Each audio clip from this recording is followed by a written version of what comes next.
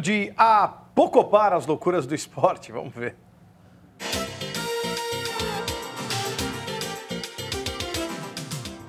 Em uma nova propaganda publicitária, quem se uniu para combater uma invasão alien foram os craques Cristiano Ronaldo e Lionel Messi.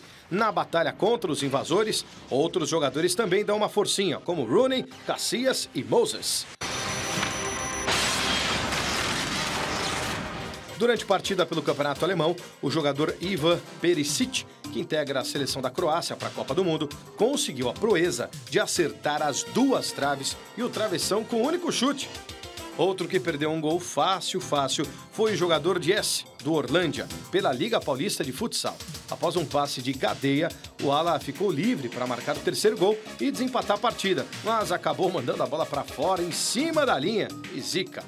Como parte da celebração do título do Manchester City pelo Campeonato Inglês no último domingo, a torcida cantou o clássico do Oasis, Wonderwall, uma tradição quando o clube conquista vitórias importantes. Sobe o som.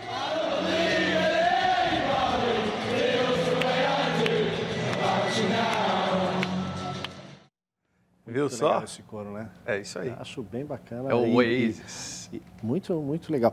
A gente já vai embora, mas antes a gente queria registrar aqui um lembrete só para você não esquecer, né? Quem joga Rancoroso, hoje? Rancoroso. Quem joga hoje? Cruzeiro e São Lourenço. E, e É o time do Papa. São Lourenço. Só para você não esquecer, como você gosta de lembrar a cada minuto e ficar, ficar repetindo. Papa Francisco, Papa Bergoglio.